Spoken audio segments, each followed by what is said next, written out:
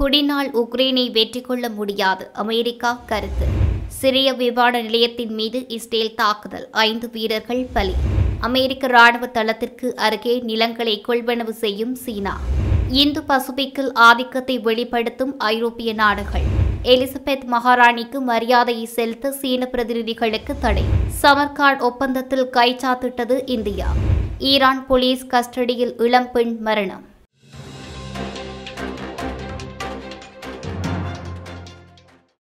அமெரிக்க பாதுகாப்பு அமைச்சின் புலனாய்வு பிரிவு தலைவர் லெப்டினல் ஜெனரல் ஸ்காட் பெரியர் கடந்த வெள்ளிக்கிழமை வெளியிட்டுள்ள கருத்தின்படி தற்போது உக்ரைனில் அதிகரித்து வரும் படைபலம் மற்றும் ரஷ்யா பின்வாங்கும் நடவடிக்கைகளை பார்க்கும்போது ரஷ்ய ஜனாதிபதி விளாடிமிர் புடின் எதிர்பார்த்தது போல இலகுவாக இந்த யுத்தத்தை வெற்றி கொள்ள முடியாது என்பது தெளிவாக தெரிகிறது என்றும் கூறியுள்ளார். அதேபோல் ரஷ்யா ஆரம்பத்தில் உக்ரைன் மீது ஆக்கிரமிக்கும் போது உக்ரைனை ரஷ்யாவின் கட்டுப்பாட்டின் கீழ் கொண்டுவர வேண்டும் என இருந்த நோக்கத்தை விட இந்த போரின் நோக்கத்தை வேறு விதமாக புடின் மாற்றக்கூடும் என்று அவர் எச்சரிக்கை தெரிவித்துள்ளார். ஆனால் இந்த மாற்றம் என்னவாக இருக்கும் என்பது இனி தொடர்ந்து நடக்கும் விடயங்களை வைத்தே அறிந்து கொள்ள முடியும் என்றும் அவர் குறிப்பிட்டுள்ளார். எவ்வாறாயினும் தற்போது ரஷ்ய படைகள் பின்வாங்குவது உக்ரைனின் வெற்றியாக அமெரிக்கா கருதவில்லை எனவும் புடினின் எதிர்கால நடவடிக்கையை பொறுத்தே இது தீர்மானிக்கப்படும் என்றும் அவர் கூறியுள்ளார். அதேவேளை உக்ரைனை கைப்பற்றுவது புடின் கொண்டுள்ள ஆர்வம் ஓய்ந்திருக்கும் என்று தான் கருதவில்லை என்றும் ஸ்காட் பெரிய தெரிவித்துள்ளார்.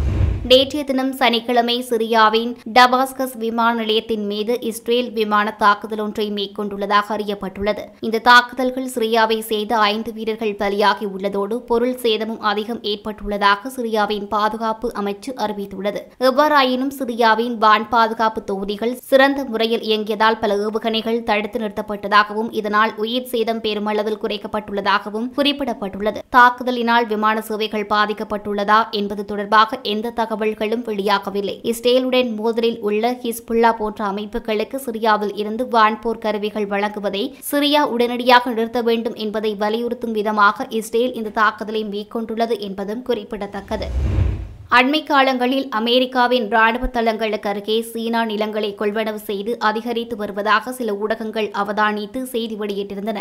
இந்த நிலையில் கடந்த செவ்வாய்க்கிழமை நடந்த ஊடகவியலாளர்கள் சந்திப்பில் அமெரிக்காவின் பாதுகாப்பு கவுன்சில் ஒருங்கிணைப்பாளரான ஜான் கேர்பியிடம் அல் ஜசீரா ஊடகம் முன்வைத்த இந்த கேள்விக்கு ஜான் கேர்பி மிகவும் தடுமாறி பதிலளித்துள்ளார். இறுதியாக இந்த விவகாரம் குறித்து கேள்வி கேட்கப்பட வேண்டிய நபர் தான் இல்லை என்று கூறியிருந்தார். இந்த வருடம் அமெரிக்காவில் கிரான்போர்ட் பகுதியில் சோளத் தோட்டம் ஒன்றின் பெரும்பகுதியை சீன கம்யூனிஸ்ட் கட்சியை சேர்ந்த நபர் தலைவராக இருக்கும் நிறுவனம் ஒன்று கொள்வனவு செய்திருந்தமை தொடர்பாக ஊடகங்களுக்கு இந்த சந்தேகம் எழுந்திருந்தமை குறிப்பிடத்தக்கது. இதன் காரணமாக இந்த நிலம் அமெரிக்காவின் விமானப்படை தளம் ஒன்றில் இருந்து பதினைந்து கிலோமீட்டர் தொலைவில் அமைந்துள்ளது என்பதால் அமெரிக்காவின் இரண்டு கட்சிகளும் இந்த விடயம் தொடர்பில் ஆட்சேபனை தெரிவித்து வருகின்றன.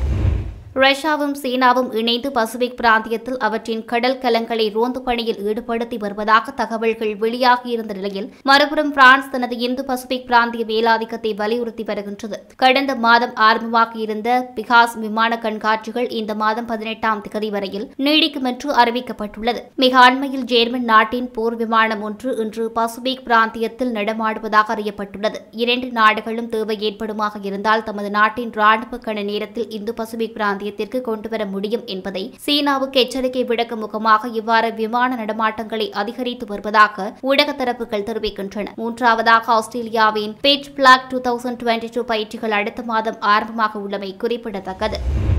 இங்கிலாந்து மகாராணி இரண்டாம் எலிசபெத் அவர்கள் மரணம் அடைந்ததைத் தொடர்ந்து அவரது உடலுக்கு அஞ்சலி செலுத்தும் நிகழ்வுகள் தொடர்ந்து நடைபெற்று வருகின்றன. இந்த நிலையில் பல்வேறு நாட்டை சேர்ந்த பிரதிநிதிகளும் மகாராணியாரின் உடலுக்கு இறுதி அஞ்சலி செலுத்துவதற்காக வெஸ்ட் மினிஸ்டர் ஹாலுக்கு விரைந்துள்ளனர். ஆனால் ராணியின் உடலுக்கு அஞ்சலி செலுத்துவதற்கு சீன பிரதிநிதிகளுக்கு அனுமதி இல்லை என்று இங்கிலாந்து பாராளுமன்றம் அறிவித்துள்ளது. இதற்கு பிரதான காரணம் இங்கிலாந்து பாராளுமன்ற உறுப்பினர்கள் ஏழு பேர் மீது சீனா தடை விதித்துள்ளது என்பதும் அறியப்பட்டுள்ளது. கடந்த வருடம் செப்டம்பர் மாதம் சீன தூதுவர் இங்கிலாந்து பாராளுமன்றத்திற்கு செல்வது மகாராணியால் தடை செய்யப்பட்டிருந்தமை குறிப்பிடத்தக்கது.